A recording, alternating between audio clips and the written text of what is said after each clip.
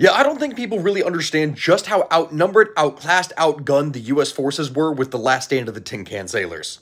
And you could look hard but not find a greater example of the utter insane shit that they were doing like in the case of the USS Johnston. We're talking about a Fletcher-class destroyer that was going toe-to-toe -to -toe with battleships, with cruisers, with everything. Much of the same way as you would have a drive-by shooting, you had this little destroyer that was weaving in and out of Japanese positions, firing off every kind of shot, every torpedo, every single thing that it had. Pretty much by itself. Against four battleships, like six heavy cruisers, 11 destroyers. But this thing put up such a genuine aggressive resistance that the Japanese commander thought that they were going up against a significantly bigger force than what they actually were. The story of the Tin Can Sailors is truly wild. The podcast episode that I just did on it just dropped, and you can get the book right now on sale for $2.99. Check my comments here for the link.